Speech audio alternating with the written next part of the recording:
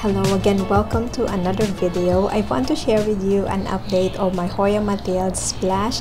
It is my second year growing this wonderful Hoya and I am so pleased with the blooms this year. Hoyas typically flower in the warmer months when they're actively growing, when they're mature enough, usually about 2 to 5 years old, but it's different with each variety. If the cutting was also from a mature plant, it is likely to flower sooner. And they also flower if the growing conditions are right. I've given my Hoyas pretty much the same care. They were under a grow light in winter and in the warmer months I use liquid fertilizer mixing in the water. But my Hoya Mathilde is the only Hoya in my collection that flowered. Before I left for my holiday last October, it began to set multiple clusters. I counted seven forming, but I wasn't sure if all of the buds will bloom. And it did not disappoint. All of the buds developed into blooms.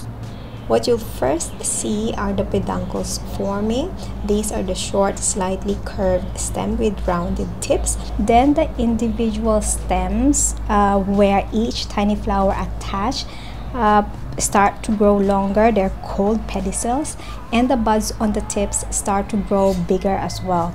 Each of these clusters are called umbels. They look like upside down umbrellas.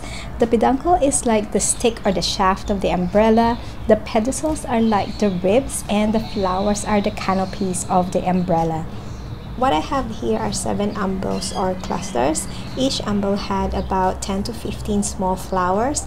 I was gone for a month and when I came back, the blooms were still beautiful and some just opened up.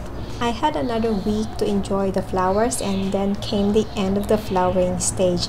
The flowers fall off on their own, leaving bare spurs the area where the pedicels were attached. This was the first spur and it is longer than last year's. The important thing to remember is not to cut the peduncles at any time because this is where future blooms grow. Now I can see other peduncles forming here and here but I'm not sure whether flowers will grow on these. Maybe next year. I've tried some orchid spray on the foliage and see if that will encourage a second round of blooms. I've read some people had great success with it. If not, it's okay. It gave me plenty of blooms this year. I'm happy. This Hoya is just a treat. It is a prolific grower and easy to care as well. It has succulent leaves, so I'm careful not to overwater the plant. Last year, I tied the long vines on a trellis with jute ties, and this year, I have all of these new vines to tie up. If your cutting was from a mature plant, you may be surprised with some flowers sooner than you expected. And that is all for today. Thanks again for watching. I hope you enjoyed this video. Please subscribe to the channel if you haven't yet.